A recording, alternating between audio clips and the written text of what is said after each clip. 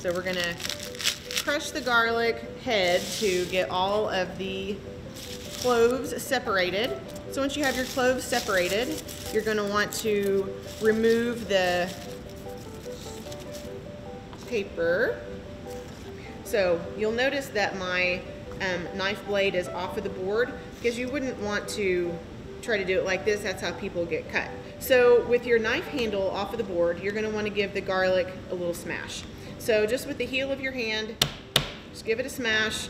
And you wanna smash it enough that you can easily take the paper off, but not so hard that you have smashed the paper into the flesh because then you've just created more work for yourself having to dig that stuff out.